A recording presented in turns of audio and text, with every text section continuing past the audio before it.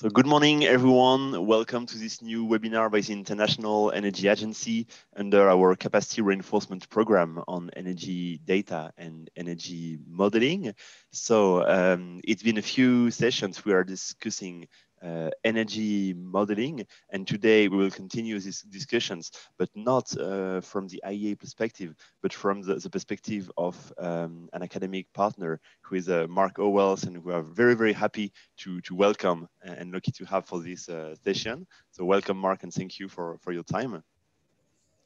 And um, so, Mark, um, has been has been working, and I'll, I'll let you introduce yourself more into details, Mark, but has been working in the uh, energy uh, field and doing a lot of, of modeling and academic research, but also practical work and a lot of uh, training uh, in uh, developing economies, including Africa, in this um, in this field. So he has a lot of experience to to share with uh, all of you today just to remind where we are on our um, on our agenda. Um, so after having our first um, sessions on statistics and those on, on modeling, where we have looked at the different parts of the energy system. Uh, last week, we discussed how to do modeling of the energy demand, taking the building sector as an illustration. Then we looked at transformation processes uh, with the, the case of the power sector. Yesterday, we discussed supply of, um, of energy so that we, we could get this um, comprehensive view of the entire energy system from end use sectors demand to transformation to, to supply. Uh, but the IEA is obviously not the only institution uh, thinking about uh, energy modeling, and there are many other um, great uh, universities, uh, in organizations, institutions with whom Mark has been very uh, involved and working with. So he will also be able to, to share their, their perspective on how they do energy modeling. I'm sure that many things will resonate with what we have discussed today, but there will be also some uh, maybe um, um, some different uh, point of view or some different um, uh, works that Mark can uh, can highlight. Um, so we hope it will be of your of your interest. Today's session will last two hours. Sorry for the for the the mistake in the in the slide you can see. So it will end at 11 uh, Lusaka time. And uh, tomorrow we'll have uh, another session starting at nine and lasting two hours and a half. So tomorrow we'll be able to to um, end at 11.30 and it will be uh, likewise uh, an academic partner who is Politecnico di Milano with also extensive experience on energy modeling which will present as well their perspective on, on this topic. So I'm stopping here, uh, Mark giving you the, the floor. I know you, you are a professional teacher, so you, you're very much and much more used to this uh, teaching side than, than I am. So I let you uh, animate and, uh, and uh, lead and drive the, the session as you, as you wish. And I wish all of you a very good session today. Thanks, Mark. Thank you very much, uh, Anna. That's uh, very kind and a very kind introduction. So uh, we have a fair number of things to to get through in the two hours. So I'd suggest that we we have sort of uh, six uh, sessions, three with questions and answers right after. Then we'll have a little bit of a break and then uh, continue. So um, that's that's the first thing. The second thing is um, I want to be talking today a little bit about a set of material that's been developed with a number of, of different partners. And this material is available uh, for folk to take up, to use, um, and to develop further with the IEA, as, as well as with other partners, depending on how this, uh, how this fits uh, or not. Um, and you'll see that there's teaching material, there are tools, uh, there are starter data kits, and so on. And those are set up as, as pieces to hopefully help make things uh, easier to get started. I'll start off maybe with a, bit of background about myself and why I'm in this space and uh, why it's just such a privilege to work with folk like Honor and the IEA.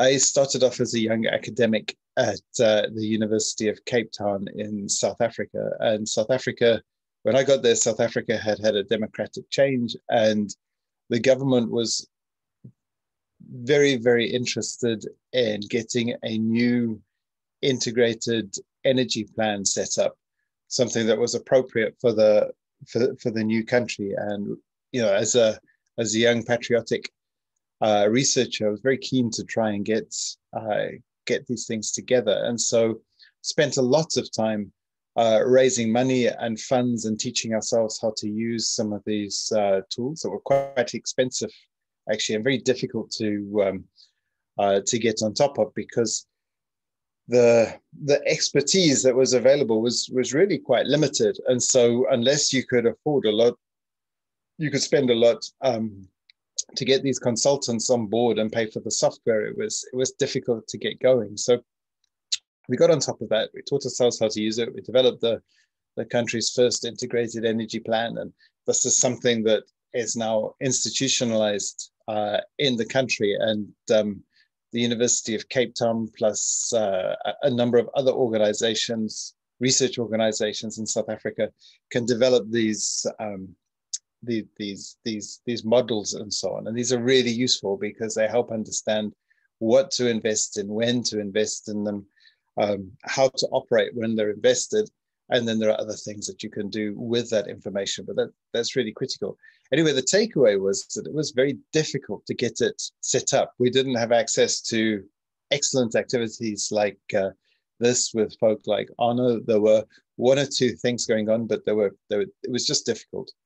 Um, after that, I moved to the International Atomic Energy Agency, where, um, and you'll see some of their tools uh, part of this broader kit uh, in a minute, where they were involved in building capacity in a number of countries and then helping to work out what would be, you know, together helping to work out what would be the optimal energy development strategy for the country. And the thing that was really neat in the IAEA was the fact that you know there's a lot of effort to make sure that things are owned by um, the analysts and the processes are owned uh, by the country rather than consultants from the outside coming in, doing some work and disappearing. So very much uh, in the spirit of uh, this work by the, um, uh, the IEA.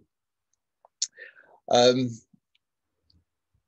one of the things that was really difficult though is that it became hard because we noticed that when people we would work with excellent analysts. They would develop excellent strategies and so on. And then within a short period of time, many of them were, were promoted. If you were lucky, they were promoted in the energy ministry. And so then they, they were in a, in a place to argue for capacity for energy planning. But often they weren't. They might have disappeared off to um, some high level post elsewhere in, in government. And then that became that sort of became a bit difficult because the tools that were available at the time they were fairly closed. You couldn't get underneath the uh, the hood of these tools, and it's the case that um, you know you almost then had to go and do another technical assistance uh, program to rebuild capacity because people moved on. It was difficult for the planning officers to have a, a sensible, um, pragmatic knowledge management uh, structure, and so moved to academia in order to start setting up open source uh, tools, teaching material, kits, and so on, and to do that in partnership. So with um, IRENA, the IAEA, the World Bank, and the IEA as well, so that these are these are sort of common goods that are available that people can use easily. And then when technical assistance happens, that can often be, you know, around the um, not around the mundane things like modeling and data um, and tool development and, and, and so on, but, but around the things that are perhaps a little bit more important. I noticed that Manuel Welsch is on this on this call. Manuel is from the International Atomic Energy Agency, and he, uh, in fact, his PhD was involved involved several things. Two of them uh, we're taking two of the toolkits that we're going to show you today further than they are uh, they are right now. And so it's nice to have uh, have Manuel on the call. Okay, so that's that's myself. So moved into academia, set these up, started to set up these open source tools, and now in the in the phase where we're developing partnerships to make sure that the tools can improve, the data can improve, and so on. But also um, with and and and and coming up behind uh, international organizations like the IEA and others, you know, these things are just available. So hopefully, it makes people's lives a little bit a little bit less difficult. So um, let me quickly uh, share my screen. I'm still so just to, to let you know that the tools that we'll go through uh, for the moment are called Energy Balance Studio, um, the model for the analysis of energy demand, OSeMOSYS and FlexTool, this is energy modeling tool, uh, FinPlan, which actually is something that Manuel looks after at the IEA, and then CLEWs, which is about uh, integrated planning. So making sure all of the planning uh, comes together and it fits, it fits well. I also want to uh, draw your attention, and we'll draw your attention uh, during the call to online resources that uh, are available. Uh, and those include, uh, let's go here, a, a full sort of pre-training teaching kit uh, that is available for folk to um, learn more about how to use these models and tools. So again, this is pre-training. So this is when you're done with this, you're in a space where you can use these things but then it's really useful to be able to in a technical assistance program you're just in a in a in a space where it's much easier to engage and instead of working with experts trying to get some software installed on your computer you can work with experts in developing the meat of uh, of of the strategies and so the tools i'll talk about are all uh, online and you can take uh, pre-training courses on all of them uh, with the exception of CLEWs. CLEWs will be online in a likely in a couple of months. Um, then it's the case, and we'll look at this in a minute, that there's this uh, one of the tools, the global electrification uh, platform, is online, and you can develop a whole uh, set of different analyses uh, really quickly. So let's just find uh, Zambia fast. We'll go back to this during the, the, the two hour session. And here there's, oh, I need to plug my computer in before it dies. Excuse me a sec. Um, and here what you'll do is you'll find um, electrification, you know, lots of scenarios of electrification for uh, the country. And as I say, we'll go back to that uh, in, in a minute.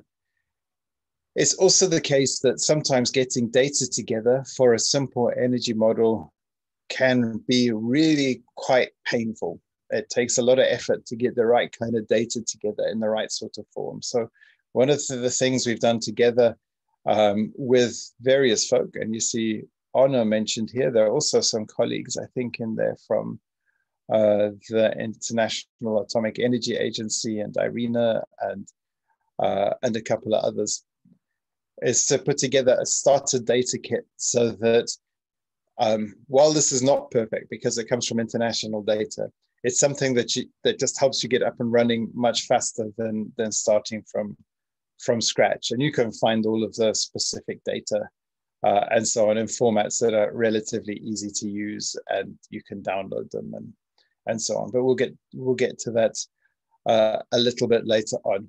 The key the key points here is that uh, there are online tools, there's online um, teaching material, uh, and there's online starter data sets that are available for folk to uh, uh, to use, and these are put together in partnership. So I'm going to spend the first uh, few minutes going through an introduction to Energy Balance uh, Studio. This is a very, very simple tool that was um, uh, developed by UN Statistics and the IAEA that is there just to help put together simple energy balance uh, information. This is this is useful and, and and we'll go through why energy balances are important uh, at the minute. I, I, want to stress as well that this is an extremely simple tool. Um, the IEA have far more advanced approaches than this. And um, if you're working with them on developing energy balances, that's what they're doing is, is at another level. This is very basic, but very useful for introducing folk to the idea of an energy balance. Now, one of the reasons why we call this thing an energy balance is that energy is just one of these interesting things. In order,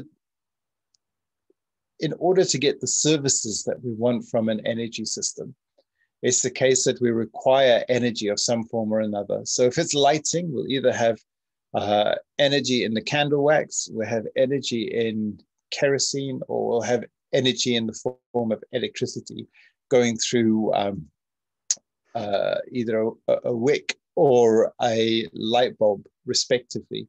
Now, the thing is, is energy can't be created or destroyed. So you're going to have to, if you want to provide lighting, we know there's a certain amount of energy that absolutely has to be provided. You can't get away from it.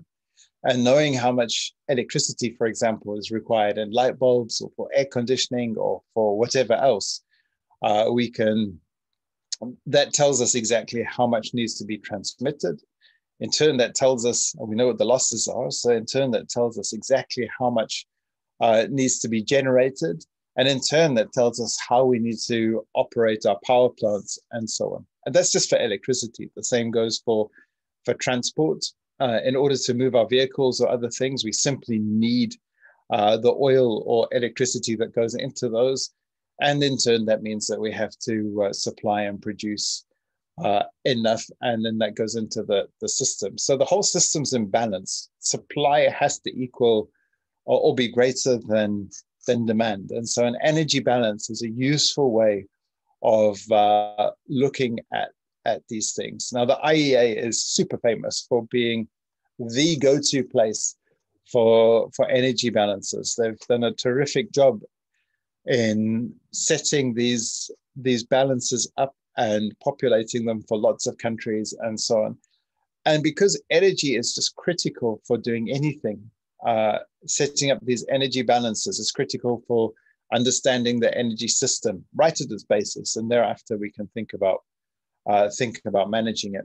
So this is just a, a, picture uh, de describing what I was talking about a little bit earlier on. So, you know, it's the case on the right hand side. You have all of these demands for that for for things that you get from using energy. So in this example, um, uh, this is heating, cooking, and other residential needs like our light bulbs and so on. And then you can see the um, uh, the energy forms that have gone in to produce those, and then on the left hand side where they come from. Now, again, this is this is just super important because if you cut off any one of these flows or other things, we simply cannot um, have the the, econ- the social economic activity that we want, which is why energy is just such a critical critical part of the uh, uh, the equation. Um, it's often the case, though, that our demand for energy outstrips uh, supply, and so we have a large amount of suppressed demand for for energy, and this can simply slow things uh, slow things down. So energy balances can be really important for just a, a number of, of interesting reasons. One is, is that it's a standard. So as soon as you start to understand an energy balance, you can talk the same language as other uh, energy statisticians uh, elsewhere.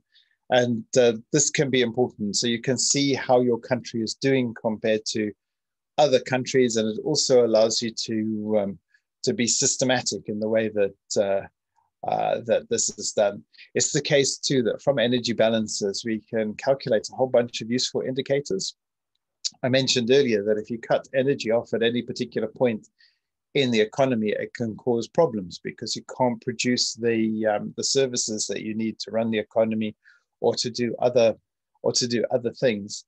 And um, so being able to understand where your system is vulnerable or where it is, or various other things. You can use these energy balances to develop uh, indicators. So import dependence might be a um, an indicator of of its vulnerability.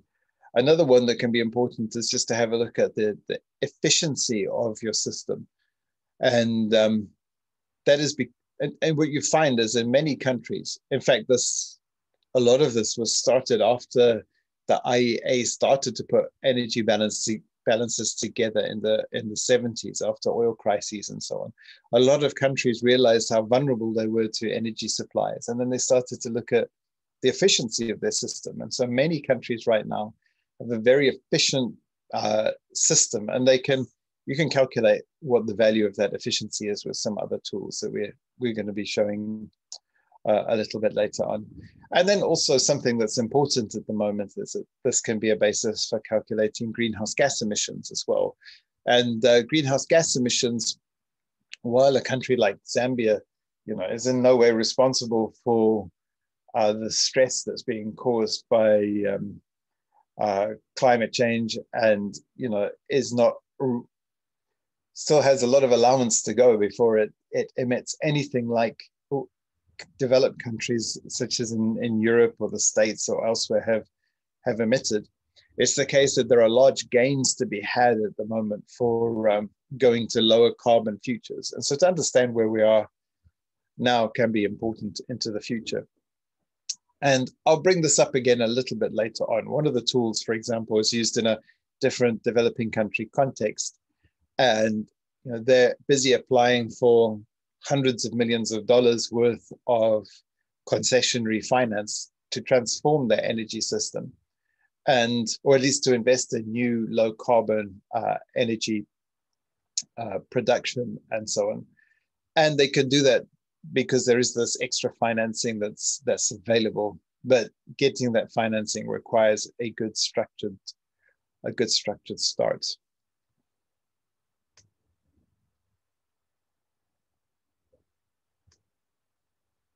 Okay, and just some some various other other things to bear in mind. So, um, it's also the case that if we're going to have targets, and this is one of the things that makes energy planning so important, is that you know we can have lots of qualitative targets in our policy documents and so on. You know, we want to have um, an efficient system. We want to have a low carbon system. We want to be energy secure. We want to be low cost, and all those sorts of things those are important goals, but we have to start to quantify uh, things in order to have targets that we can uh, we can act on to understand where we're at and where we're going to go. So, uh, just to point out that that is that's that's critical. So it starts with the um, uh, the data.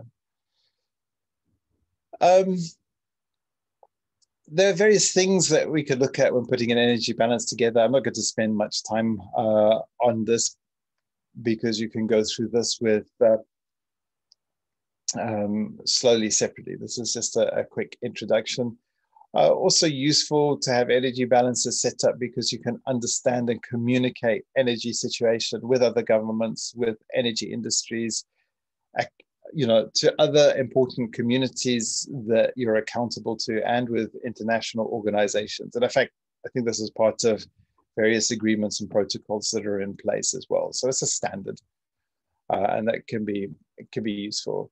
Uh, it's also the case that typically you want to be able to use these energy balances for different things. One is, you know, to get a, situ- a picture of the situation now, but as you do your planning and you implement policies and so on, you want to see how things change. And this is a little bit like a, a doctor with a stethoscope. This is something that you can use to just see how things are, uh, uh, are, are going.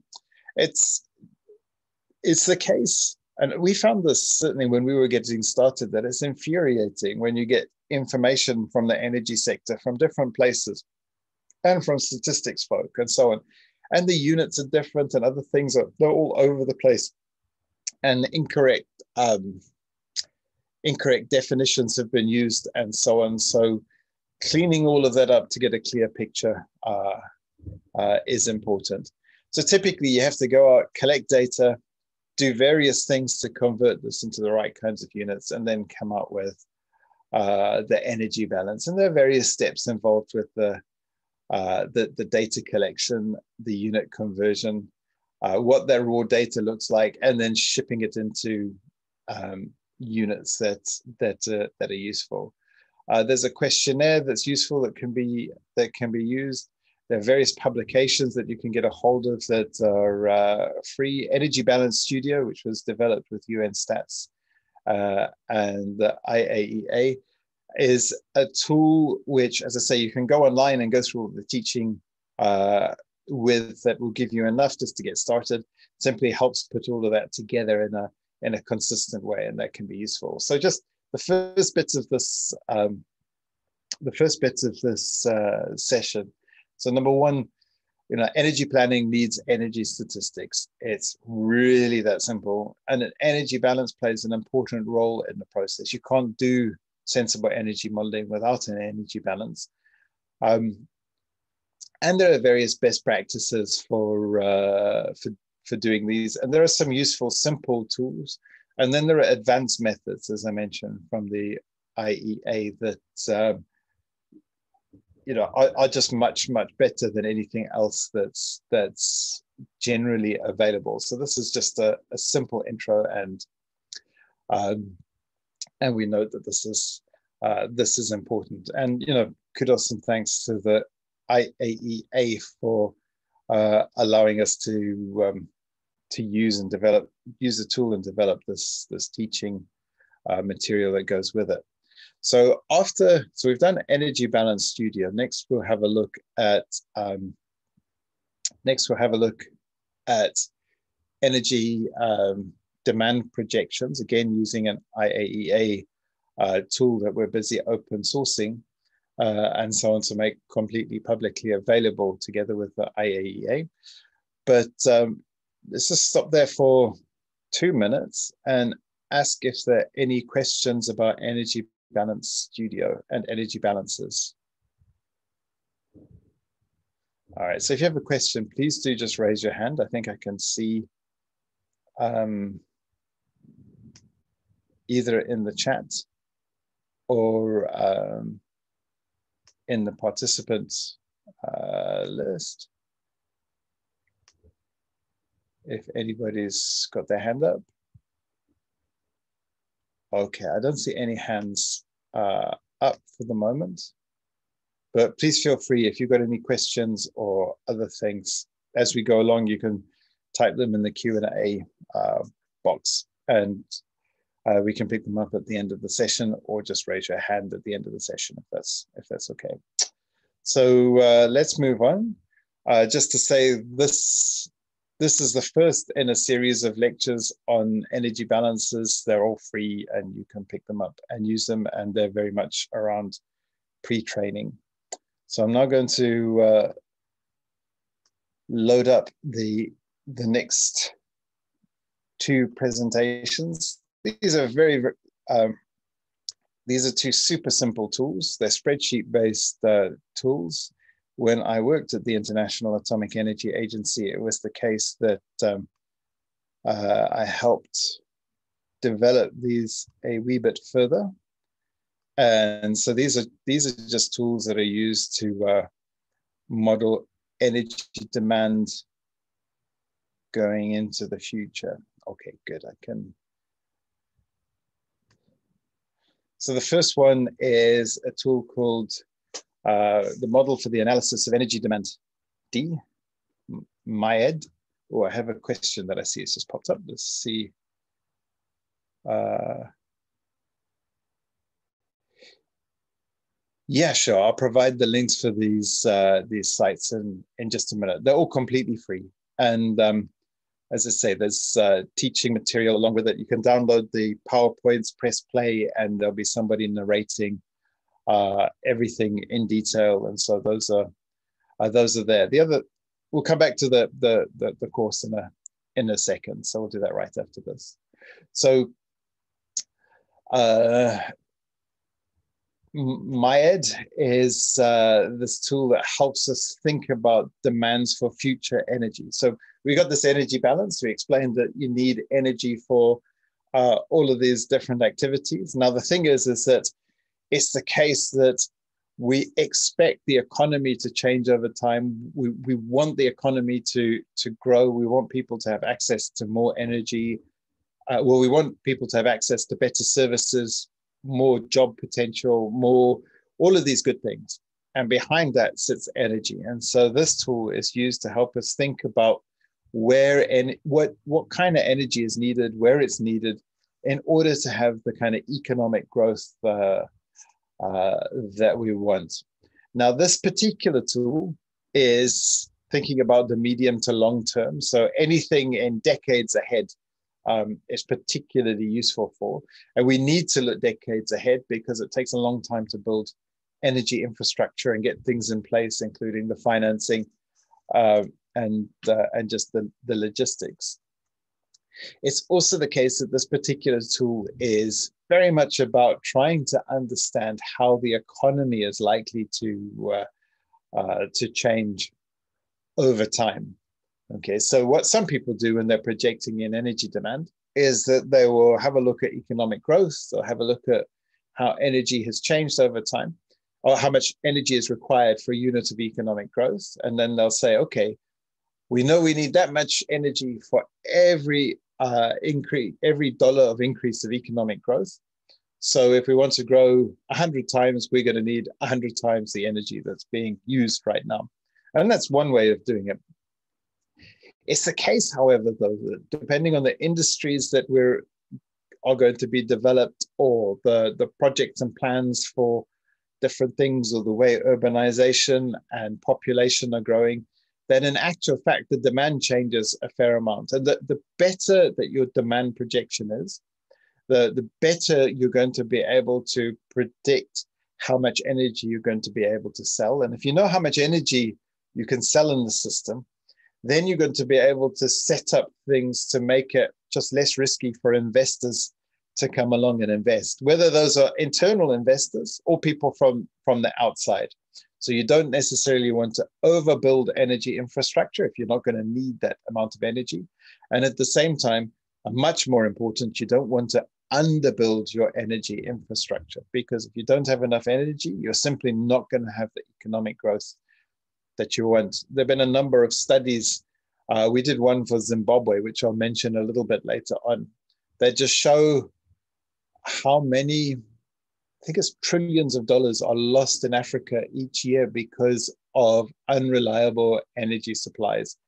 And so being able to turn that around and make sure that demand equals supply uh, is just brilliant for economic economic growth. So this is very much about looking at how to determine uh, demand.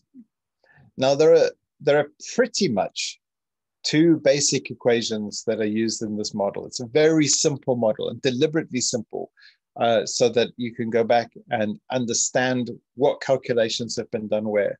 So in the first one, it's the case that there's some energy demand uh, is a function of some sort of specific energy consumption multiplied by a driving parameter. Now, what this means is, is that let's say you know that for um, a mine that's producing a thousand tons of uh, copper per year, that there's a certain amount of energy, a specific amount of energy required to be able to extract that thousand tons of copper per year.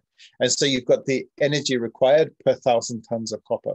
Now the thing is, is there may be plans to further develop those copper mines, in which case every time you increase that, the, the size of the copper mining activity, you multiply it by the specific um, uh, energy consumption factor, and we can figure out how much energy is going to be required for making sure those copper mines can run. Now, for sure, the specific energy consumption of those copper mines may well change as a function of the technology and other things that are being used. And that's okay because what you can do is then uh, simply extend this and say, okay, this is, these are, you might divide copper mining into different categories like new efficient copper mining or very deep copper mining or whatever the categories are that are sensible. And as you get more information, you can um, you can make this uh, more detailed. So you can have more sectors uh, in there. But for a start, the specific amount of energy you require for copper mining will be quite different to, say, the specific amount of energy required per million people living in a city or other other things. So this is the first set of equations. This is the amount of energy demanded as a function of some specific energy requirement and then some driving parameter. Another equation, which is often the, the way everybody starts, is that you use a certain amount of energy for every unit of, um, say, GDP, uh, so gross domestic product. And this would be something called an energy intensity. So instead of specific energy consumption, you've got energy intensity. And so you could do this for the whole economy and not one, worry about the individual sectors. So for every unit of GDP growth, you need so many uh, million kilotons of oil equivalent of, of energy. So you can uh, figure that out. But the thing is, is that the more information you get, the more you can you can break this up. And then we see that things like copper mines are relatively easy to understand because we know what future demands will be in terms of things like thousands of tons of copper produced and so on. But for GDP in particular sectors, if we break those up, we also see an interesting trend. So you use a different different amount of energy for every unit of GDP. So you have a different energy intensity for every unit of GDP that comes from, say, commerce, a different amount of energy from every unit of GDP that comes from, say, agriculture, and a different unit of energy that comes from every unit of GDP from another part of the economy. So, with this information, knowing how we want our economy to grow, plus the specific energy consumption or the energy intensity, we can then develop pictures of how much energy our economy will need in order to meet those uh, those growth targets. Okay, um, and it's just the case that our our economy can change. So the energy we use now for every unit of GDP, for every unit of economic growth, that can change into the future because just the structure of our economy is going to change. If um, Zambia, for example, were to just develop like lots and lots of copper mines and have a very mineral intensive uh, development uh, trajectory, that would look extremely different to if Zambia were to be putting lots of money and effort into uh, education and its IT industry and its um, agriculture or, or even um, uh, tourism and so on. So depending on the picture of the future that you want, you'll require different quantities of energy. And as I say, getting this matched up is really good because if you know what you're going to be demanding, uh, then you know what you need to supply, and then you can make it just much, much easier for um, uh, much, much easier for reducing the risk of supply investments. Um, yeah, just to say that there are a number of these things, a number of these uh, elements are predefined inside of uh, MAED. Um, so, for example, agriculture, construction, and so on. It may well be that uh, we can use particular driving uh, parameters, transport as well, divided into, for example, passenger transport, where you're just moving people around versus freight transport. And these have different energy intensities. Uh, depending on where your households are, you might use energy for different things like heating, cooling, cooking, water water heating, electrical appliances, and so on. And that can be a function of the number of dwellings. It's also the case that these change drastically over time. As soon as people have access to electricity, they'll often switch appliances, and depending on the reliability of that electricity, uh, they'll use that for essential or non-essential services. Uh, you know, we also want to look at the service sector and so on. So there are there are a set of sectors that have been defined uh, and then these are broken down into more detail. You can go into as much detail as you want to uh, with uh, MAED, starting from something super simple, going into something that's really quite complicated. And um, what's nice about this tool is that because you can start super simply, you don't need to wait until you've got perfect data to get going. You can you can improve things as you uh, as as you go along. And there are various rules of thumb that you can do for aggregating or disaggregating uh, things into more or less detail. So here's a picture of something that's disaggregated into a into a fair amount of detail, which can be uh, can be useful. So again, typically you uh, you get information from your energy balance. So make sure your base year is correct. Then you think about scenarios, often going to the finance ministry or others to say, look, you know, how do we think the economy is going to develop? Uh, we use these simple equations and this very simple spreadsheet-like model, and then produce uh, uh, produce demands. You know, and then again, this is something that um, can be iterated uh, iterated over time. Some of the basic information required for the scenario developments, GDP, demography, how we think lifestyles are going to change, uh, efficiency changes, and so on. And these can change quite uh, quite a bit. So um, again, nice that you can start simply because you don't need all of this information, but really neat that you can develop it into as much detail as you want for the energy projections going going off into the uh, into the future. And you can develop different types of projections as well. So low, intermediate, high, and, and see how that see how those uh, those pan out. Interestingly, it's the case that um, some countries will have relatively high scenarios just to they will play with high scenarios just to understand what the potential requirements would be if they were to aggressively follow uh, different development paths. And for some reason, sometimes finance ministries or economics ministries don't understand the relationship with energy as well as they should because they may have uh, incredibly interesting plans but have not worked out the energy requirements. So then you don't get a projection of the demand and you don't know how much you, supply you must invest uh, into.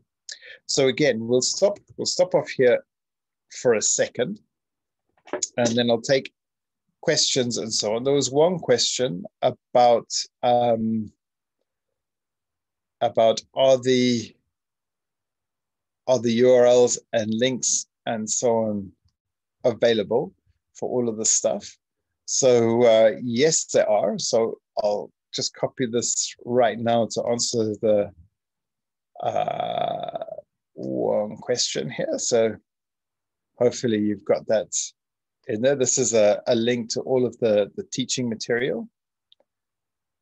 Um, and where you'll be able to get a set of good basic uh, information would be, uh, how do I type this in? Uh, I'll, I'll put it in the in the chat, is um, a, a website called www.climatecompatiblegrowth.com. So I'm going to stop sharing my screen there for a second and just type that into the uh, into the chat. And from from here, you'll be able to get access to all of the stuff that we're developing. Also, just want to mention that you know this climate compatible growth program is a is very much a partnership. We don't really produce anything without working with partners. And the reason for that is, is that often our partners are very much in the business of, you know, doing deep technical assistance and and so on. And if we can help in the background simply by producing material that makes life easier for folk. That's uh, that that's really very useful instead of reinventing things. So if I can ask if there are there any more questions at the moment. So I think I can see hands if anybody raises a hand or um, uh, happy to answer in the in the chat. Okay, I don't see any hands at the moment. So we'll go on to the next um, uh, the next presentation very quickly. And this is, uh, I'll spend just two minutes going over this one actually. Uh, this is a tool that you can ship onto the side of MAED called uh, MAED EL. And you'll see why that's important in just a sec. Oh, I've got a, another question. Sorry, I couldn't see the website okay, is it free or do we need to uh, buy licenses? So the, the website, I think, ah, sorry, I think I passed this on to Arna, not to everybody else in the. So let me just type in the website. Uh, climate compatible growth.com. Okay, so you can go in there and you'll find most of our material uh, up, there. Uh, let me just copy in a couple of things very quickly into the, the, the chat forum as well, so you have access to them now. But this is all uh, this is all available. Uh, where are we?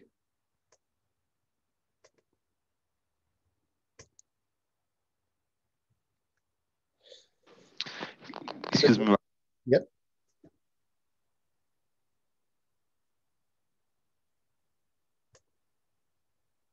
Sorry, Anna?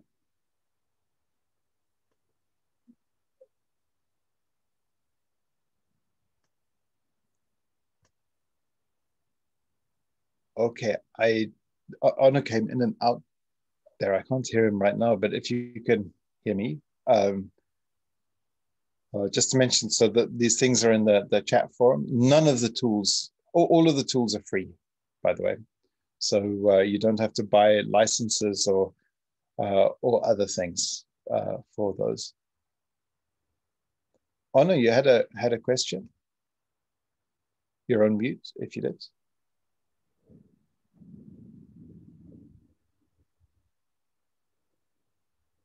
So I, I can't hear you right now.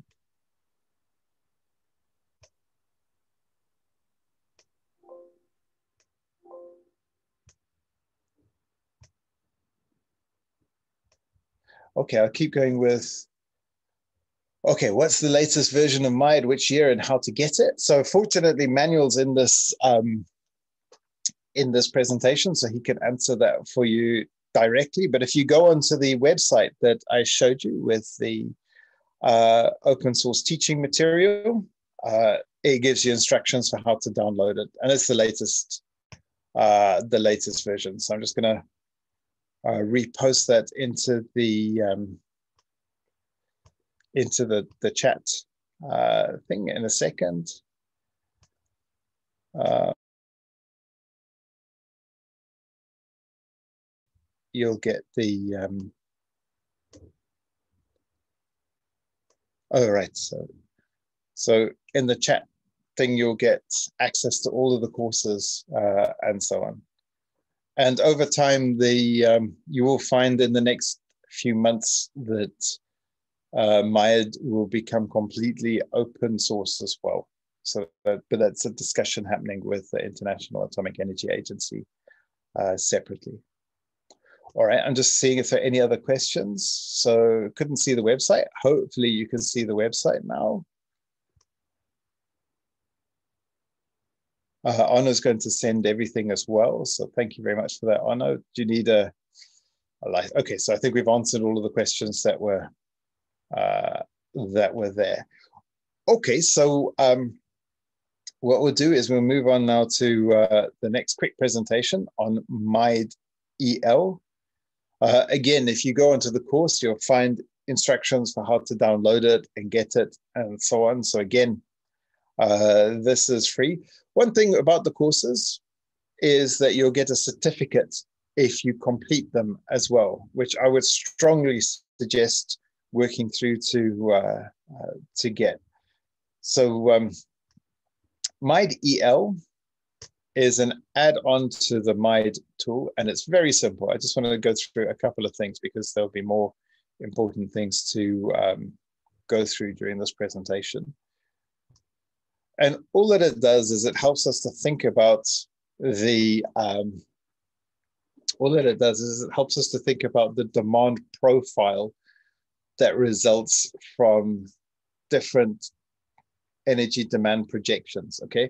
And by demand profile, I mean the hourly demand for electricity, uh, the hourly demand for electricity. And this can be important. Again, if you're running a mine and for some reason people get this quite wrong and it's um, it's it's a bit annoying um, you know, sometimes people will say, oh, the cheapest electricity in the world is solar power.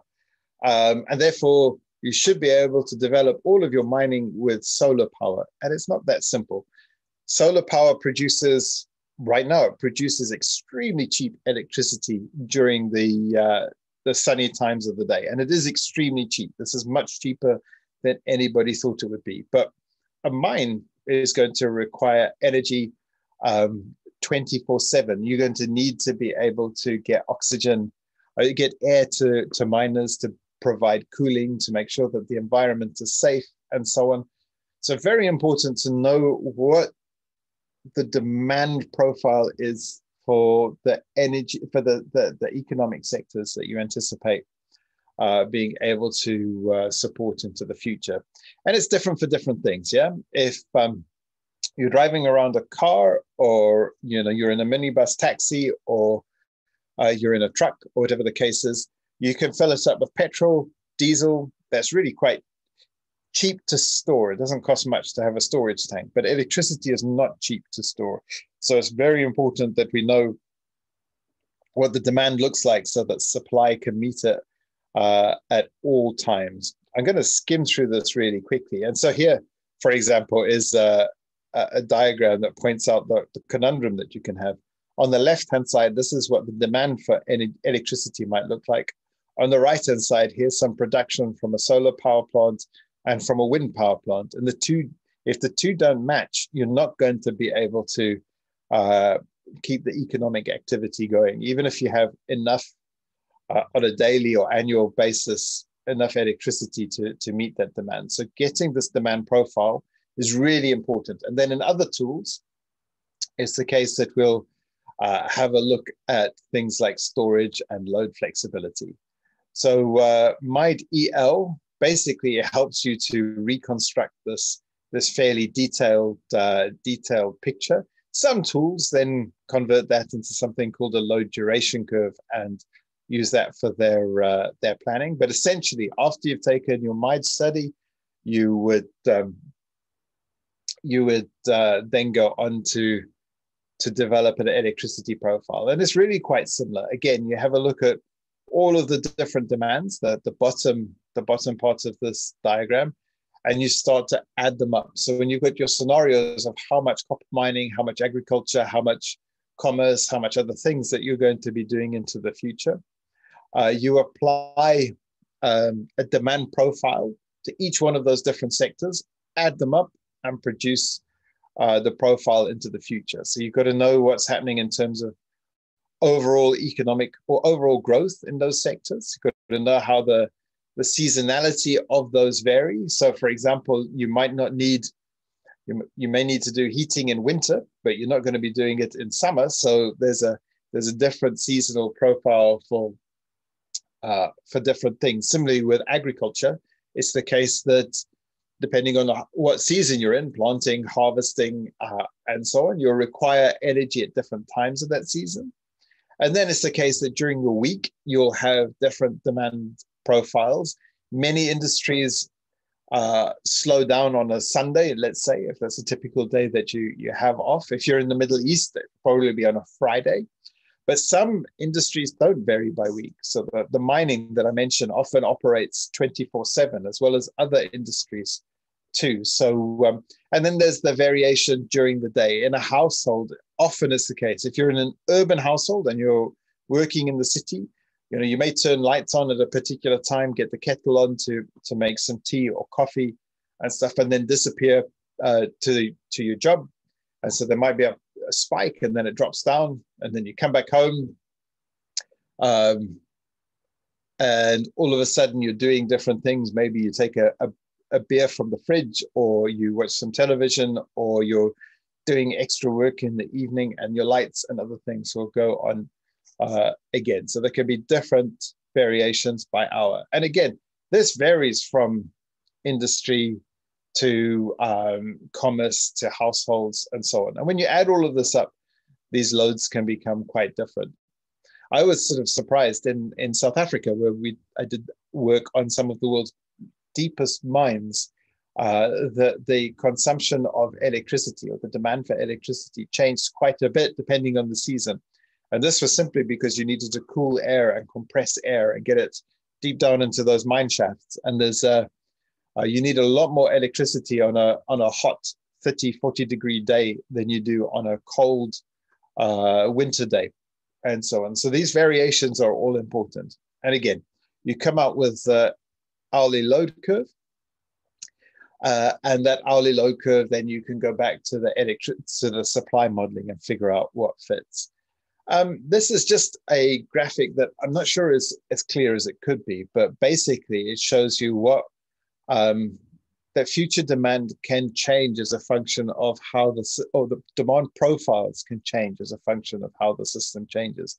So you don't necessarily see this super well, but there are there are in fact some important differences between the production or the demand of electricity at different times here as a function of you know how the economy was was growing and if we know these well again it simply helps us because we can um, we can supply we know how much electricity we're going to sell. And if we know how much we can sell we can make more secure agreements and make investment just much less risky. Uh, the mathematics uh, looks intimidating but this is really quite uh, quite simple. So basically this boils down to going back to the number of weeks in a year day type seasons uh, so on hours in a day. And you do all of this stuff add it all up and um, we come up with the uh, the information that we require. Um, here it is in a less confusing di diagram. So you're looking at growth, seasons, variations by day, variations by hour, and then you get the, the total. And you just add these add these up. And it's really simple and it's a spreadsheet tool. And again, this is available for free on that course or directly from uh, the International Atomic Energy Agency.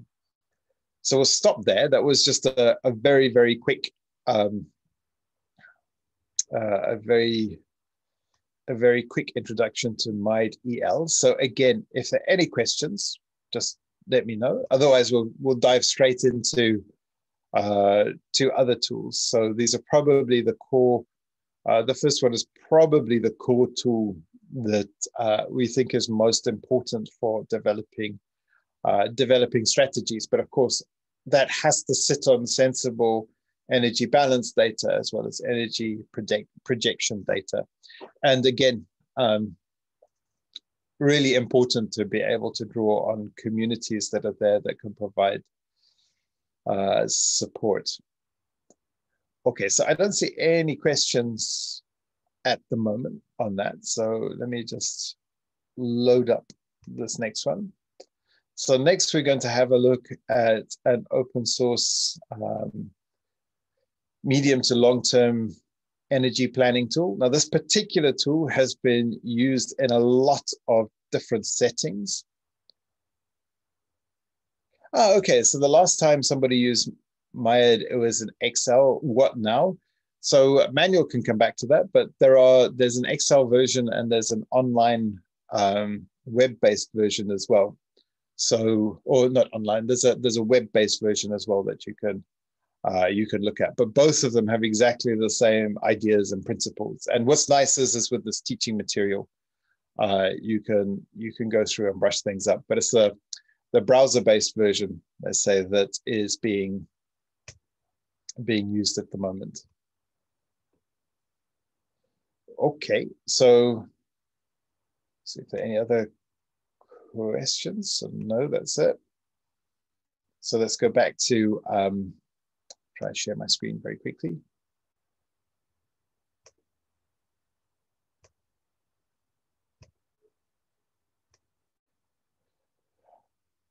Okay, so next we'll uh, we'll jump into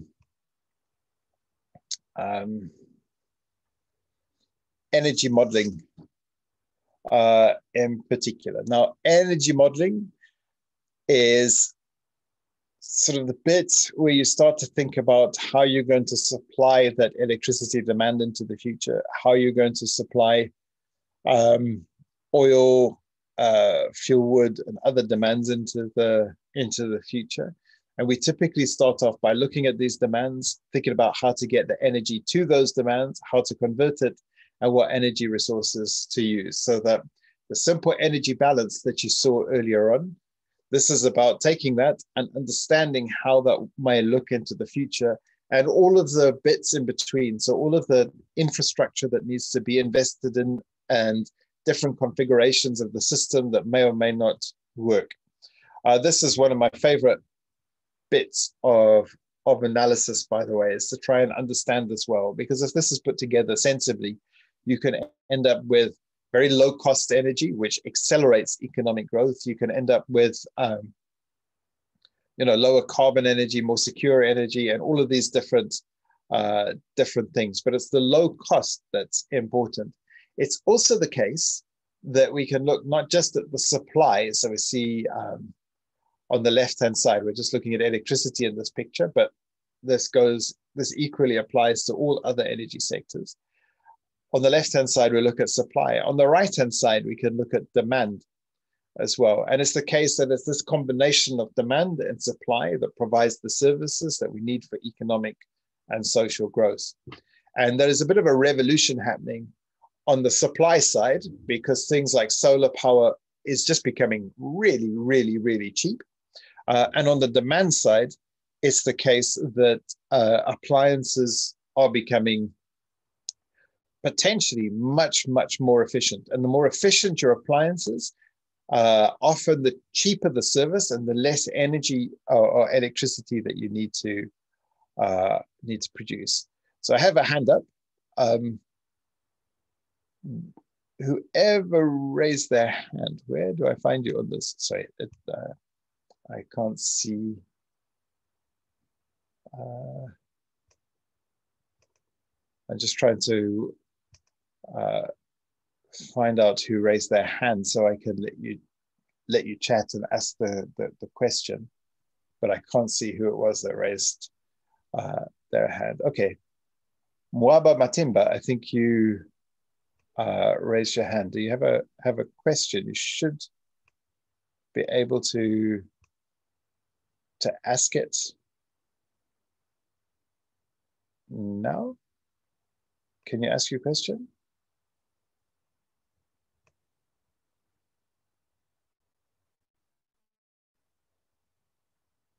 Okay, for some reason, I, I can't hear you at the moment if you're asking, and it might be a problem on my side. So hang on. Uh, let me just see if I can. No, can you try and unmute Mwaba Matimba?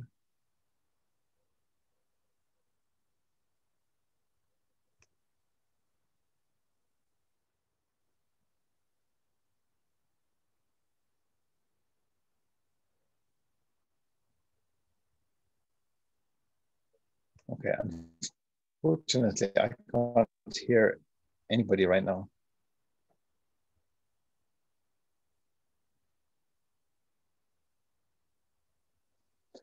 Okay, if I could ask if you have a question, perhaps you'd be so kind as to. Okay, very good. Just put it in the chat and we can continue. Okay, so just to say, there's a revolution happening at the moment, and that is that the there are things that are changing in the supply side, they're becoming cheap, but also things that are changing on the demand side that are becoming cheap and efficient as well. So, uh, for example, uh, right now at, at my house, I made a point of buying, we, we moved to the UK not long ago. And so I made a point of buying some very, very efficient appliances and small ones as well. Like I like to have a cup of coffee in the morning.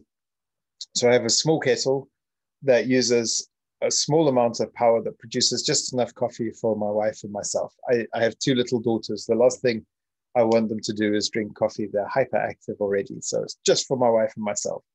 And I find that um, with this efficient little kettle and other things, I use a lot less electricity. And this is just a little kettle. But if you go on to other appliances and more energy efficient systems in industry and mining and so on, the amount of energy that's required can be reduced significantly and often at um, uh, often very economically. And so, actually, in South Africa, I ran a, a, national energy efficiency campaign for a short period of time. And what we what we labeled it was energy efficient. Was the three E campaign for energy efficiency earnings because um, the earnings were, were good. Okay. Models provide a simplified representation of reality. They help us to understand how these different futures can be um, developed. They don't predict the future, they give us insights about the future, but these can be important. So if we know how our economy is going to develop, or we know how we want our economy to develop, we know what energy supply and uh, appliance combinations we're going to, to need. And with models, we can construct the least cost way of getting there and make a very sound business case. We want to do this in the least cost way of doing that because we have limited money. Uh, at the same time, the lower the cost of producing all of this, often it's the case that you just need to attract uh, less investment and people can, um, and that can be secured uh, more easily. There are different types of models that are out there with all kinds of different um, uh, attributes associated with them. In this case, we're looking at sort of medium to long term uh, models that um, will look 10 to 30 to 50 years into the future. And again, it's the case that uh, we do this in order to understand what to invest in, where, when, and how much to operate it. And we need to look decades into the future because you know, building a power plant can take um, a few years. So we need to know in advance um, what we're going to be building so we can get our market structures right. We can start to organize uh, power purchase agreements. We can start to think about how to get the financing right. And we can start to get all of the logistics right for building these, uh, uh, these new plants. Uh, it's a case that this normally fits into some sort of iterative process. Different, different people will do this differently. Uh, but essentially, we've got projection of where we want to go to. We use the model to figure out different configurations. We look at those configurations. Sometimes they make sense, sometimes they don't. The model's just a, an agnostic picture of its view of the world. But it may be that there are realities that we need to consider. It may not be possible to shut down an old coal fired power plant quickly. So, although the model will say, oh, just shut it down and build a new one or uh, retrofit it or so on, there might be constraints, and we have to put those into the model to understand what we can and can't do. But important thing is, is that these are these are iterative things. Now, OSeMOSYS, the model that we're looking at, looks at sort of long-term stuff uh, into the future. Uh, by the way, this comes from uh, Manuel Welsch's uh, PhD, actually. So we have these long-term models. They look into the future, 10, uh, 20, 30, 50 years into the future. But it's the case that you know there's short-term analysis that needs to be done. So once we've got all of these power plants and other things operating, because the renewables are intermittent and demand can change, it's the case that we need to understand the flexibility of the system. And um, in this toolkit uh, that you've got, there's a tool called Flex Tool, which you can then run to make sure that the system is flexible enough uh, to meet its demands. And this is another um, completely, these are both completely open and free tools that, um, that you could work with. Again, it's the case that you collect the data, you do the modeling, and then you interpret uh, interpret the, the results. So OSeMOSYS is the open source energy modeling system. It is a completely free and open tool. It has been used by a number of countries to develop their long-term energy strategies, their long-term emission strategies, and other strategies. And so um, uh, a nice example is just recently, Costa Rica developed a completely open approach to collect their data, to do their projections. They ran a number of scenarios in OSeMOSYS to look at what investments they needed to invest in. So, what power plants to invest in when and how to operate them. They also looked at electric vehicles because they could, uh, if they let the model run, they saw that using electric vehicles for certain types of trips, not every type of trip, of course, uh, was just much cheaper than using um, than importing gasoline or petrol and losing a lot of money to the economy. So Uh, they also use this tool to look at the deployment of electric uh, motorbikes and, and other vehicles. And so with this, they developed the energy policy. With the energy policy, they've gone to the Inter-American Development Bank for various loans based on this planning. And uh, then they've gone further and gone to the Global uh, Environmental Facility and um, are busy now applying for a very large amount of loans for new infrastructure and so on. So this sits at the heart of what they've been doing. And there are various others. So uh, the government of Cyprus, for example, uh, uses uh, uses OSeMOSYS. There have been various analyses for the World Bank for different African countries and Africa as a whole. Um, it's also used in an integrated modeling system, which we will spend a few minutes uh, looking at shortly.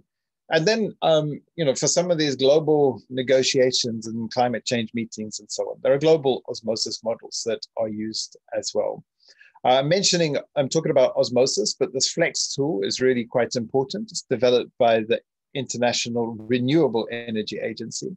And this has been developed specifically so we can, when we develop a picture of the future, we can go back and test it and see whether or not this will work. Um, so if we have lots of renewables in the system, uh, can we operate other parts of the system flexibly enough to cope with them, uh, cope without renewables or not? And do we have to do other things? And again, this is this is really important because there's a lot of noise about renewables at the moment. Some of it is really good noise, some of it is misleading, and um, you know you're tasked with making you'll be tasked with making sure that the lights don't go off and the economy grows. So making sure that this balance is done properly uh, is important. And strangely enough, if it's done well, you can end up with very high levels of renewables operating really well with hydro and other assets in the system and just end up with a much lower cost system. Done incorrectly, though, and you can end up producing more electricity than you need from the renewables. You're not able to absorb it in the system, and it has to be it has to be wasted. So uh, that's important. Um, for OSeMOSYS, it was the case that we had a, a, a browser-based a browser-based uh, interface. We've changed this now, especially for this online for this this teaching uh, material. So there's an Excel-based uh, spreadsheet that's ready to go, and you can uh, very quickly put in some I think it's about 200 technologies and 50 different energy types, and different types of emissions, and so on. And this is uh, this is free to use. It's completely free, completely open. The only issues are, and quite important, is that you'll need Microsoft Office because it uses Excel and Access, and that's fairly standard. The other is that um, it's best to have a computer with at least eight gigabytes of RAM uh, if you can do it with smaller, but it just takes way too long. Um, and then the last bit of information that's useful is this comes with a very powerful free solver. Now, in the past, you would have had to have spent anything from twenty thousand dollars to hundred thousand dollars for uh, for this sort of setup, and that is now uh, available completely completely for free. And again, everything's uh, online. So I mentioned this already about the uh, uh, the Flex tool, uh, which is which is there, but important because while OSeMOSYS will tell you how much to invest in when and and how to construct the energy system as a whole, it's the case that um, the the Flex tool will help you think about how much flexibility you have in the supply system, potentially how much flexibility you have in the demand system, and uh, and match those up. Uh, maybe one thing worth mentioning is that it's already the case that we're seeing the electrification of um, motorbikes happening in different parts of Africa and happening quite quickly as well. And so being able to understand and be able to um, know what the implications of that could be is critical. So if all of a sudden there are lots of electric motorbikes in your system, this can be really good because you're not importing the gasoline and the overall cost of ownership is lower. So you're you're providing a cheaper transport service, which you know for motorbikes and little three wheelers that are doing local jobs. But for small businesses, that can be that can be really important. But again, uh, being able to think about what that means. When are people going to charge it? Do you have reliable suppliers or not? And if the tariffs are set up so that they're very, very cheap when there's a glut of renewable energy in the system, that can be helpful because you can have uh, not just flexibility on the supply side with a hydro system, let's say, but also uh, potential flexibility on the demand side. And Flex tool will help you work through all of that. I thought I'd just pick out a couple of examples of some recent work that has been done. So OSeMOSYS was used in Zimbabwe for the World uh, World Bank uh, very recently, and uh, this was done because uh, Zimbabwe has uh, a set of NDC targets. Many of them revolve around hydropower, but as you'll know, uh, the Kariba um, hydropower system has in the has in the very recent past suffered uh, very bad um, water water shortages and so on. And the point is, is that unless we look at scenarios of what that water might look like into the future, we may commit a lot of um, and in Zimbabwe's case, they were going to do this, commit a lot of investment into that hydro system, but that could all become really vulnerable into the future because yeah, if you don't have enough water, you're not going to be able to produce enough electricity. And so what we did is we worked together with the government to say, okay, well, we know that the climate can be can be unpredictable and there can be these prolonged spells with not having enough water. So can you use the hydro system not just for producing bulk electricity, which is great, but also use it to be able to um, do balancing. So you uh, you get your solar power systems in place, which are now super cheap. Uh, they generate electricity during the day. During that time, you fill up the reservoirs because you're not using the hydropower. And then in the evening or other times when when it's needed, then that you have the hydropower running and so on. So you change and, and you change the way um, the hydro system is rewarded. So instead of a, a power purchase agreement for, you know, so many kilowatt hours of electricity, it can be an agreement for um, a monetary value of that sort of storage or balancing, as it's called, an ancillary uh, service market, plus the uh, electricity sales market. And depending on how things are connected, when you do have surplus, that can be sold on the spot market into the Southern African power pool.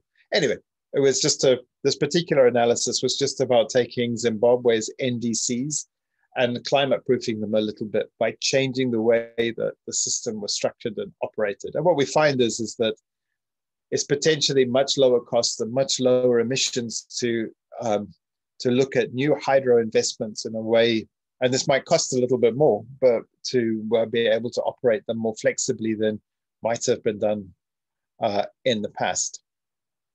So, in order to help, um, we've developed these starter kits for OSeMOSYS models for every African country. We're busy with every Latin American country and every Asian country right now. Uh, these are developed with the International Energy Agency, International Renewable uh, Agency, International Atomic Energy Agency, and a whole number of others. So these are put together and they're put together in a way to simply try and make getting started easier. They also come with a, a very zero order turnkey model that you can uh, use if you wish to. So there's a picture of the reference energy system of the model on the right hand side. Also, all completely free. And on the left hand side, a um, this this comes from one scenario um, that was run inside of uh, inside of uh, OSeMOSYS just so you could see it. It comes with a few different scenarios that you can play with. But these are very much zero order um, you know energy models zero order data sets. But experience has showed that it often takes months just to get the right data into the right format and so on. And um, so so we we we did that to start off with but it really is zero order because you know, international data never reflects uh, exactly what the situation is on the ground. So we don't we don't go around shouting and saying, "Oh, we've got a Zambian energy model." uh, at all. Uh, this is very much a starter kit and so on, and it's there for people to pick up and develop and and and use, but um, done so that uh, hopefully it reduces the amount of uh, pain that people have to go through to start uh, start these uh, start these modeling exercises. Okay, so I'd like to uh, stop off there just for uh, a couple of minutes, and I realize that we've been going constantly. So maybe let's have a we'll have two minutes for questions if there are any questions, and then uh, maybe we have a five minute break, and we can go on to the last two uh, the last two tools. So are there any comments or questions that, that folk would like to ask?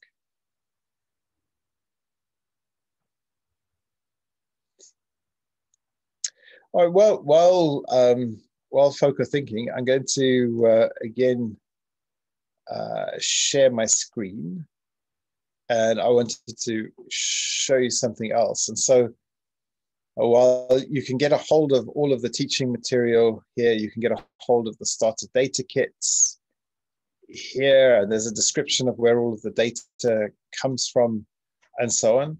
Another thing that can be useful is that there's a big um, uh, online community of people that use OSeMOSYS. So if you type in OSeMOSYS uh, Google group, uh, here we go we can search for that, and then you'll find that there are hundreds of analysts that that use this tool, and they're all quite friendly as well. So um, you'll see here, uh, this is a, these are just sets of questions and answers, uh, and so on, and they're all very recent. So there's been some questions today, yesterday. Um,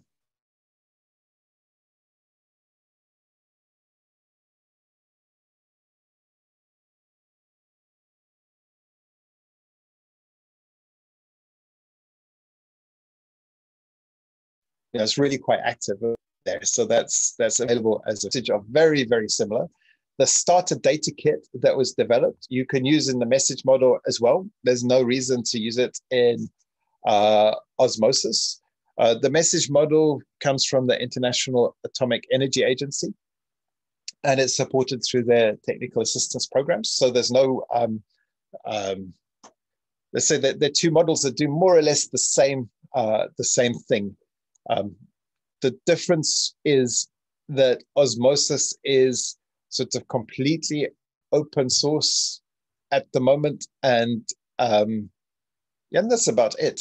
So we found OSeMOSYS very useful because universities pick it up because universities like to um, be able to change code and do other things. There is, for example, a fellow called Dr. Bernard Tembo who um, developed a Zambian uh, OSeMOSYS model for his PhD at University College London, which I think is available, and so on. So that's that's useful. But you know, message is exactly the same kind of tool. But my strong advice is that you know, don't switch tools if you don't need to. There's it, it's better to have you know strong competence in uh, in in one good thing than try and be split up into a lot of things if it's difficult to maintain a critical mass. Right. That said, um, they're both there. They both have uh, good support. Um, and you, your all of the data that we've collected for OSeMOSYS for that starter kit can be used in message, can be used in Markal times, all of these types of types of models. So the next question was, thanks for using the Zimbabwean example. We're finalizing our mitigation assessment for use in the NDC update. Ah, okay, no, great. And again, um, these kinds of tools can be used uh, for that. One thing with all of these these these tools is that uh, they can be simple, and then as competence and so on builds, they can be really quite complex and so on. And um, it's the case that uh, one of the reasons we produce this teaching material is that just important to be able to maintain knowledge knowledge management systems internally that can just be really important i think because in the past we found that that could be that could be quite difficult so hopefully this this teaching material helps with that. And as I said, it's the case that um, we put this in there. There was some debate as to whether or not we put this in there. Is that when you've when you finish the course, there, there are these little quizzes that you do, and at the end of it, you get a certificate, and it tells you what percentage you got at the end of that. So if you're in charge of a, uh, a unit and you have new people coming in that need to learn about um, energy statistics or energy projections or modeling or uh, financing or electrification and so on, you can ask them. In fact, you can tell them to do the course and then say, ah, but you need to get over 50% or 80% or whatever you want to do um, for uh, for me to know that you you you're on top of these tools and so on. And you can use them yourselves as well to understand where you're at with your understanding and and and that sort of thing. And that can be that can be particularly useful. So we often have folk doing the course a couple of times so that they can come away and know that they've they've mastered uh, the first the first bit of these sorts of, of tools which could just be handy because it is it is really having had to teach myself how to use these tools from scratch with no assistance, it is uh, it is difficult. But hopefully, hopefully these can be uh, these can be helpful. Okay, so I'd suggest let's just take two minute break. Okay, so we'll start again at half past. So that's one minute break right now, just so you can stretch your legs and so on, and then um, and then we'll get going again. Um, Martin asks, uh, is the OSeMOSYS course available for free? Yes, all of the courses are available for free. All of the software is available for free. And it also comes with uh, support. So the uh, IRENA tool that I mentioned, Flex tool, comes with support from IRENA. Um, the IAEA tools that were mentioned come with support from the IAEA. And um, just like the OSeMOSYS tool, there are these communities that are being uh, developed. So you can you can go online and you may well find um, folk who are finding the same issues that you're having or otherwise, and just be able to um, to connect with them and talk to them and share experience, which we found very very helpful. It's also the case that um, every year we hold okay, it's been it's been messed up because of COVID, but that seems like it will be normalizing soon. Every year we hold a uh, an international teaching course together with the the IEA, IAEA, you know, UNDP, UNDESA, and others at uh, at a facility in Trieste in Italy, and then we have another one that happens in in different parts of Africa as well. So um, it's the case that you know do talk to whoever's involved in doing technical assistance work, and those courses are there, and they're uh, they're run at costs. So whatever it takes to cover the costs is what the, the courses are are are run at. Okay, so I uh, want to go through a couple of other tools quickly. Um, and again, we're not going to take a huge amount of time through these. These are just introductions. The next one, which I will spend less than five minutes on just introducing, is um, FinPlan, which is an IAEA tool. And the part of the reason why I won't spend more than five minutes introducing this is you have the world leader, um, Manuel Welsch, online, who um, uh, is in charge of the development of FinPlan, and together with Oxford University, uh, and others, we put this teaching material uh, together. So again, like the other tools, this is there's a free course available online for free. You get the certification for free, but you do have to work to make sure that you get a decent grade because that comes on the certificate, and um, you can get access to the tool for free as well.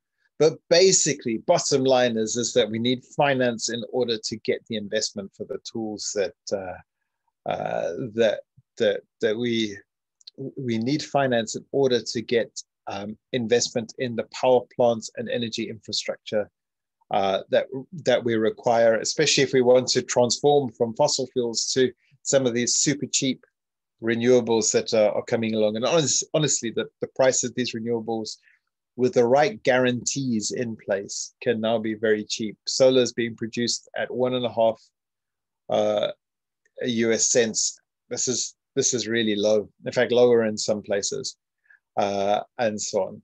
And the thing is, is that we have to once we've used a model like OSeMOSYS and we figured out what investments are going to be most important, we can think about how to de-risk those investments so that they're attractive for people to invest in, and then we can think about how to uh, to attract finance uh, finance to those.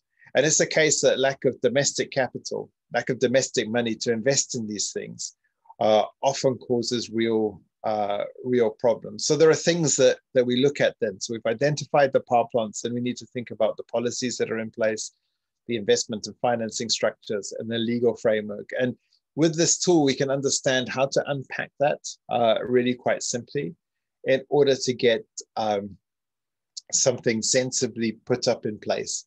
And remember, this time around, so you've built the model, you've looked at the best configuration of things. Now you want to look at it from the point of view of the person or the company or otherwise that's going to be investing. If that investment is risky, they're going to want to spend their money somewhere else. Or they're going to want to have very high returns. And if they want high returns, the price of the electricity will be high. If you can make it less risky by um, developing um, sensible tariffs and other things. If it's less risky, then people are going to be willing to have a lower return on their investment. And if they have a lower return on investment, that means that the price of electricity is going to be lower, and that means that you're going to grow faster. Um, it's really interesting. If you look back, the Industrial Revolution was pretty much caused by energy technology, the invention of a steam engine that could provide motive power and generate electricity and, and so on. And all of a sudden, it meant that certain things could be provided at a fraction of the costs. Energy, energy services just became cheaper. And as a result, countries with access to that technology and, and the ability to absorb it in their system developed faster and so, uh, by getting the right kind of financing, we can get the right te- sort of technologies in the system. And if they're modeled well and structured well, it just increases uh, increases development. Okay, I'll just move on uh, through these. Important underneath all of this is making sure that the the, the energy modeling, the planning has been important. And then they have a look at the, the project financing, more or less uh, how would this be structured in a way that makes it attractive to an investor to, to come along? And then you can use this to go along and and you can use this for different things. One, you can use it to go and attract investment. Another thing that you can do is you can use it to go and attract uh, support so that other people can take on some of those risks. And if they do that, and there are lots of risk facilities popping up, if they can do that and you understand where the financial risks are, again, you make it a, an attractive investment proposition. So, um, um, an example that's interesting is Ethiopia did this quite cleverly, and they've ended up with extremely cheap solar power plants being built a number of other countries in Africa have not done this well, and exactly the same technology can cost three or four times uh, uh, three or four times the, the, the price.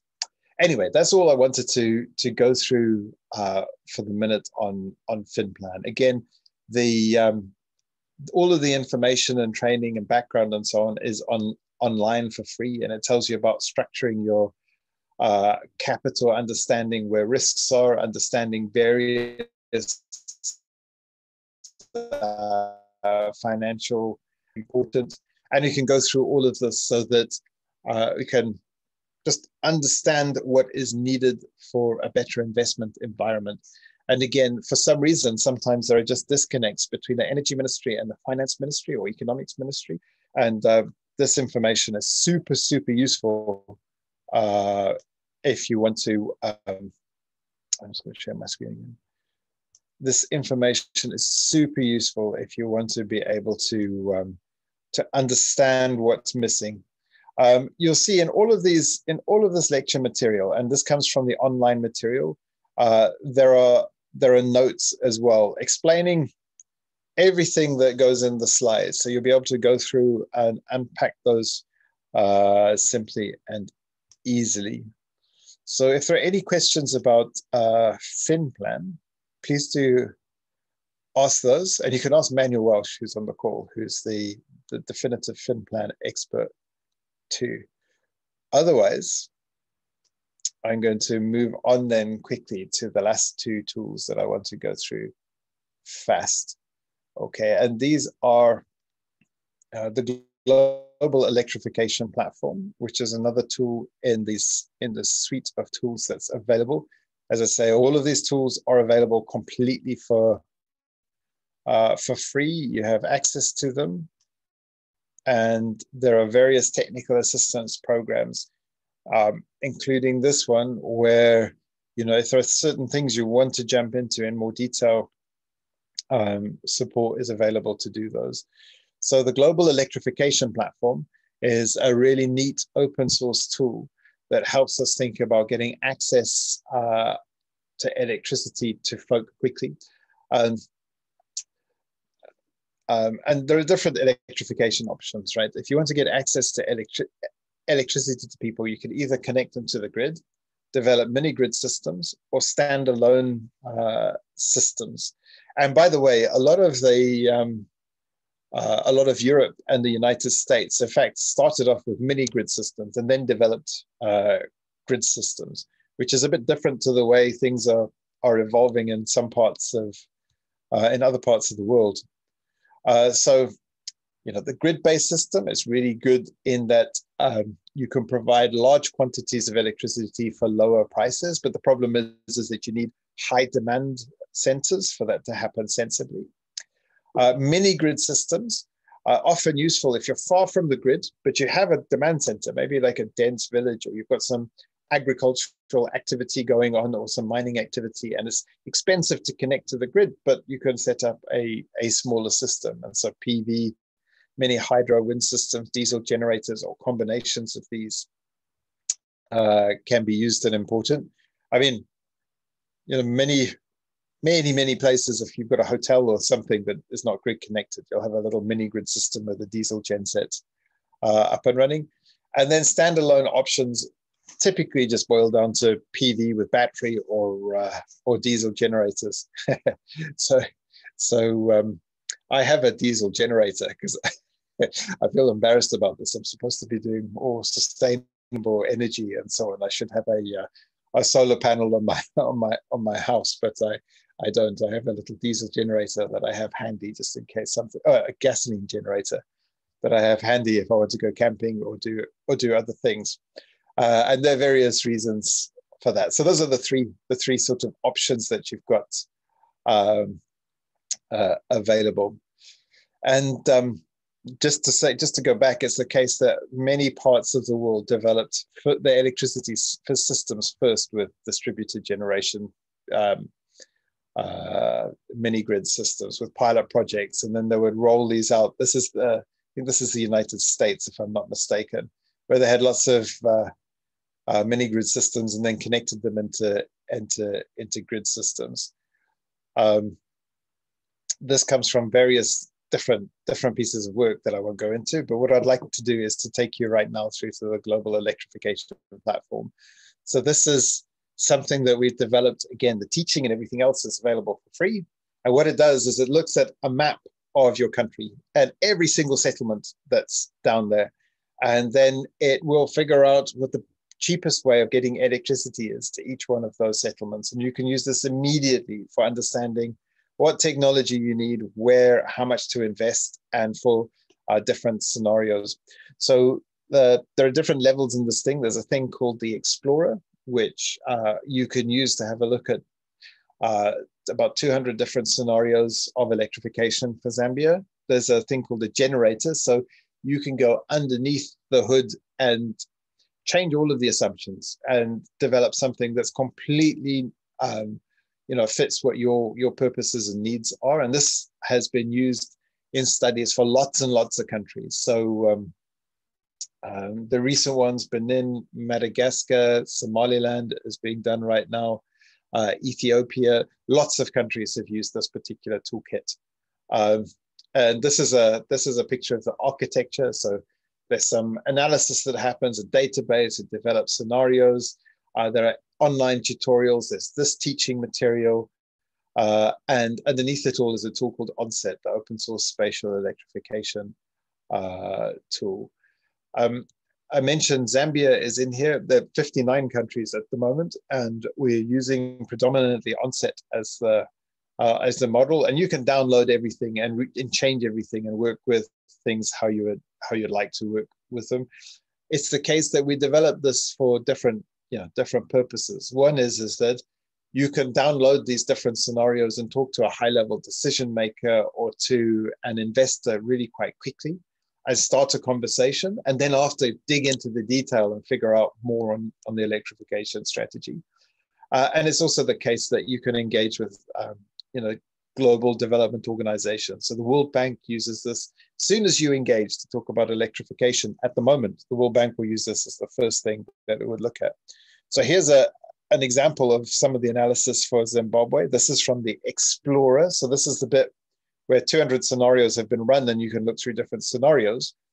If you go to the generator, you can do your own scenarios with your own assumptions and so on, which is important. And in the training, you'll be taught how to do that.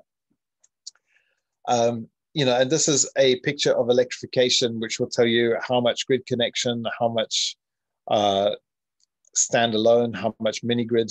So you'll see the the standalone is the sort of light mustard color, and then there's a darker color for for mini grids.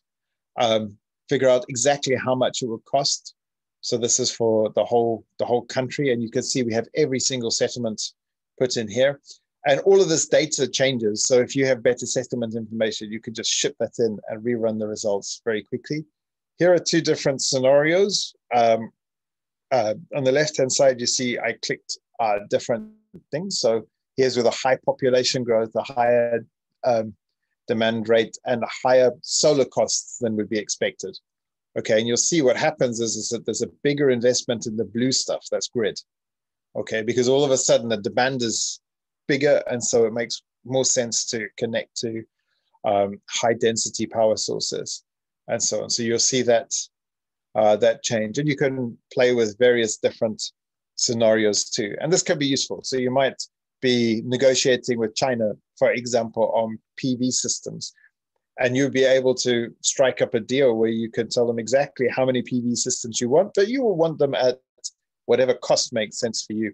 And so you can have different cost profiles and other things and use this as a as a functional tool. In Malawi, people are using this to figure out so as they get money in where to invest next because they can figure out where they get the best bang for their uh, their buck and so on. So we'll end off there with that. Um, and I'd like to just take you online. Ah, come back here. I have these these icons that stop me from um, doing things. I'm going to stop sharing that, and then I'm going to share this the um, internet uh, my my browser again. And if you type in global electrification platform in your browser, you'll come up with this, this particular thing. And so here you see uh, an example of uh, the global electrification uh, platform for Zambia, which you saw earlier on.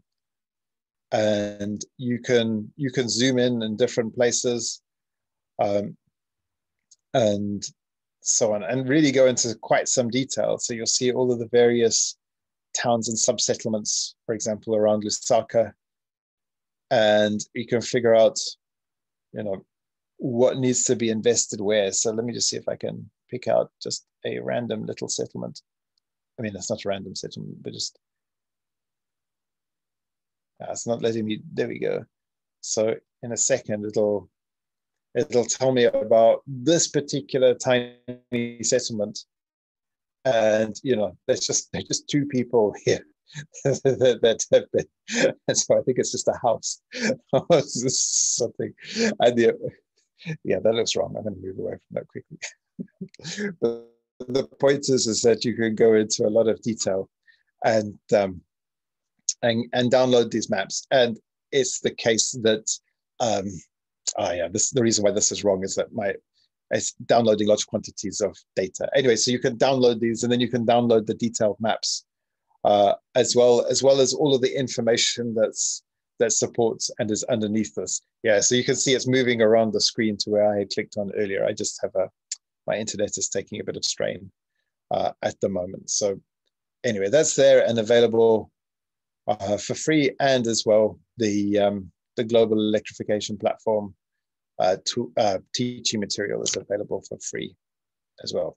So I'm going to stop sharing there before I go on to the very last tool and just ask if there are any questions or comments and so on on that.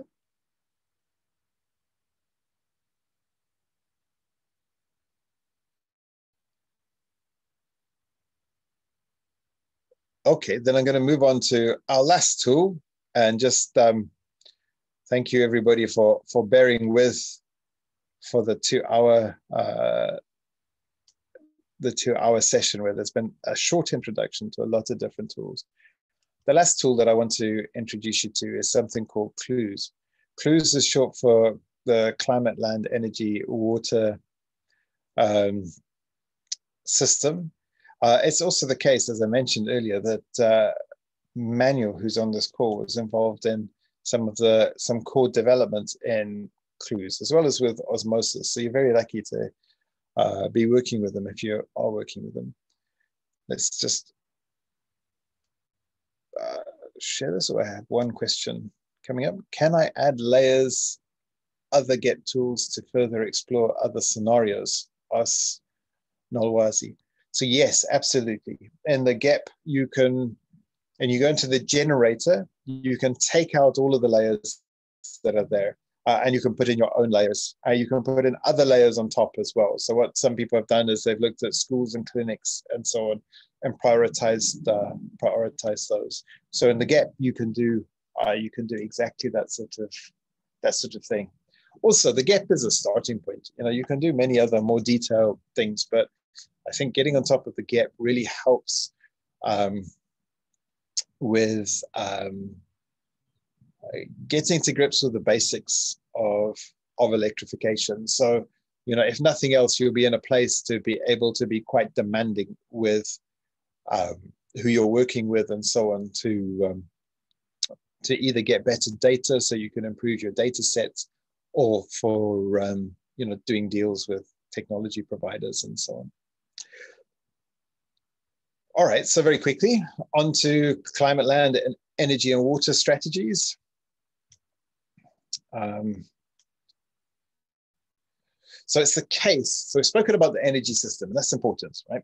But energy is wound up with other systems as well, um, especially as it's the case that we have to, um, you know, we have to, uh, we have to get people food and water, and you know, you need energy in order to produce food. You need energy in order to get water. People are short of food and water, and when there are times of drought, this gets exacerbated. So these things are really quite interwoven and they're interwoven with other sustainable development uh, goals. So as I say, agriculture requires water and energy. Uh, water requires energy in order to pump, it irrigate, and so on. India, for example, uses something like between 20 and 30% of its electricity just to get water to its its fields and so on for, for agriculture. Um, energy requires, uh, agriculture requires energy. And as we look at biofuels as a potential feedstock, you know, there's this competition between land and energy. So all of these things and CLEWS is just a way of helping you to, um, after you've done the energy system, to go into more detail and understand these other systems. So again, you can create consistent uh, policy because often policies are inconsistent, and this can create uh, this can create real problems. Um, Okay, I mentioned that already. I'm going to go through this really quite quickly. I'll miss this example, but you can get this online if you want to. Um, but you know, to to give you an example of policies that don't match up and cause problems, India, for example, it's got this province Punjab. It produ- It's got a small proportion of the country's land, but it produces most of the food for most of the poor people in India. So there are big government subsidies to make sure that this um, this place can produce um, can produce the food. However, it's the case that the water from the land is being taken out faster than it can be replenished. So uh, there are real problems. And this is because the way the government subsidizes it is it says to the farmers, you can have free electricity so that you can cover your pumping costs.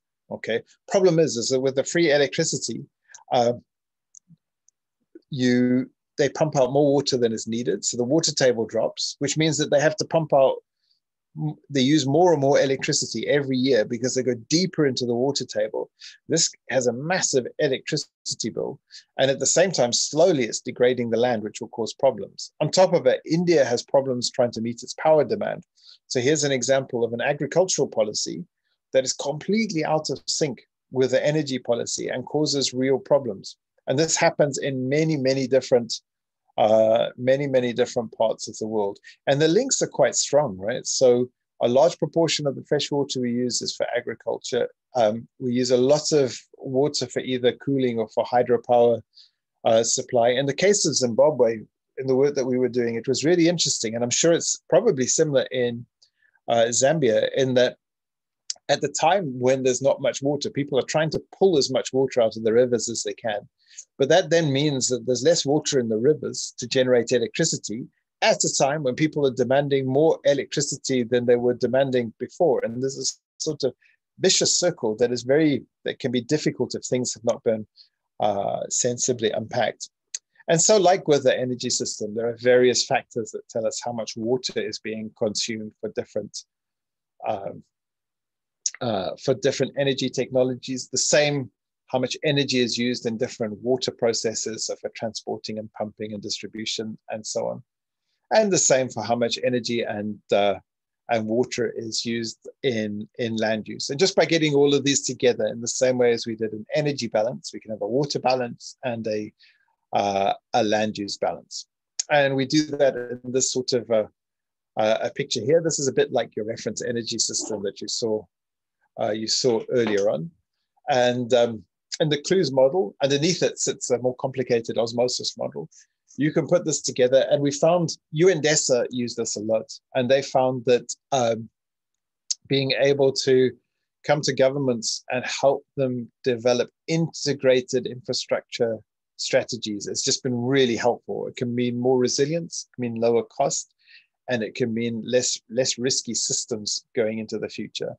Here are just some graphics from a recent study that um, were done was done in a particular place, but you'll find that uh, a number of countries are using this officially. So Bolivia have got some really neat uh, stuff that you can get you can get offline and start working on, or start looking at and understand what they did. And there they wanted to maximize their agricultural production and understand what they should use for for biofuel. And there the interesting thing is is that you know Bolivia is is a relatively poor Latin American country. And so it really needs to use its assets very, very carefully. And yet, sitting in the middle of government, there are folk running these CLEWs models to figure out how to um, how to work across different sectors. And this is really important. So not only do you spend the money that you, the limited money you have on the energy system well, but by integrating these different systems, you make sure that overall the money that you spend on development is uh, is well spent. All right, so that's that's it from myself. Um, are there any comments or questions uh, for now before we end off?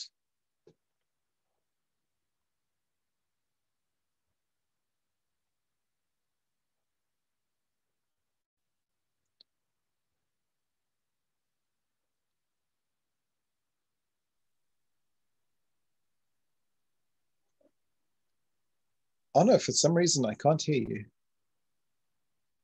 Is that me?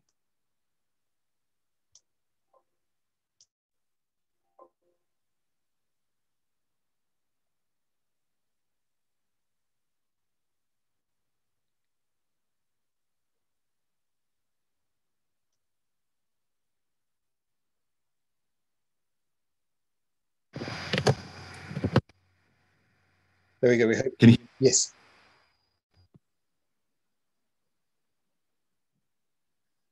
Arno, could hear you for a second there. Okay, now can you? Yes. Can you? Okay, perfect. Sorry for the technical issue. Um, Yes, now you can.